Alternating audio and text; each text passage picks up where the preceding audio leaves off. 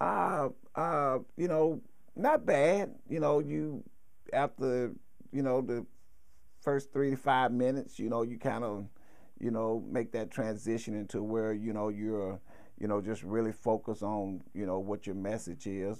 You know, so